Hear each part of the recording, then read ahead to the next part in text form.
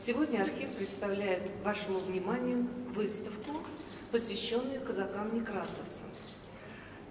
Казаки-некрасовцы – это поистине уникальное явление истории России. Инициатором этой выставки является Вера Николаевна Никитина. Она великий труженик, она много лет собирала фольклор казаков-некрасовцев. Она автор книг о казаках-некрасовцах, которых мы сегодня будем представлять здесь. Э, книги выпущены при финансовой поддержке э, Русского географического общества. Я совершенно уверен, что именно эта выставка, конечно, вызовет совершенно особое заинтересованное отношение. И, конечно, очень радостно, что мы будем иметь возможность и прокомментировать то, что они видят, и, соответственно, как-то укрепить в них желание уникнуть в это действительно совершенно удивительное социокультурное явление. Вот тут была упомянута первая наша встреча в консерватории с казаками-некрасовцами, а я был тому свидетелем. То есть это действительно было очень давно в малом зале, но тем не менее мы тогда впервые открыли для себя вот это на самом деле совершенно удивительное возвращение в лона родной культуры э, тех людей, которые хранили эту историческую память, но тем не менее и э, с неизбежностью ассимилировались уже на другой совершенно почве. И это было даже совершенно очевидно в их костюмах, потому что костюмы были именно вот таким синтезом, были турецкие ткани, и были в то же время вот те элементы, которые они унесли и бережно хранили. Пение, вот это искусство, которое они нам вернули в такой первозданности, это, конечно, для музыкантов, для консерваторцев было совершенно бесценно.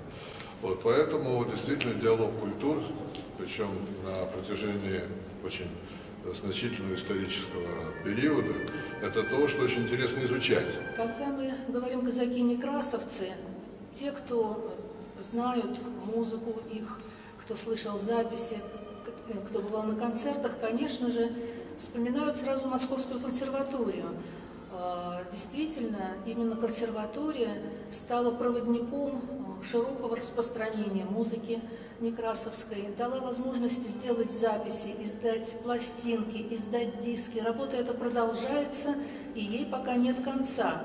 А, и а, в этом огромная просветительская миссия Московской консерватории. Мне важно было показать традиционный уклад старобрядческий, устойчивый, а, многовековой, и при этом показать жизнь разных семей внутри этого уклада, очень разную жизнь, с разными отношениями внутри семьи, между членами семьи, Э, показать жизнь и биографии отдельных людей и показать неоднозначность жизни казаков-некрасовцев в Турции прежде всего. То есть те доступные материалы, которыми я располагала. Возвращение и воссоединение всегда очень ценно, причем они возвратились обогащенные, соответственно, традициями фольклора, искусства, жизни, вот, в тех местах, в частности в Турции, где они были. И это, конечно, обогащает нашу общую этническую палитру и культурную палитру, ее разнообразие.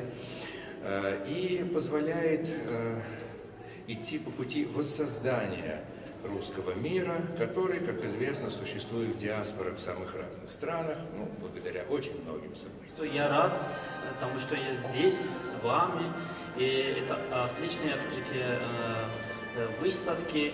И, конечно, казаки, э, о казаках я много знаю, потому что моя жена э, казачка, она рассказала мне давно истории казаков. Россия и Турция, две страны, у них очень богатые культурные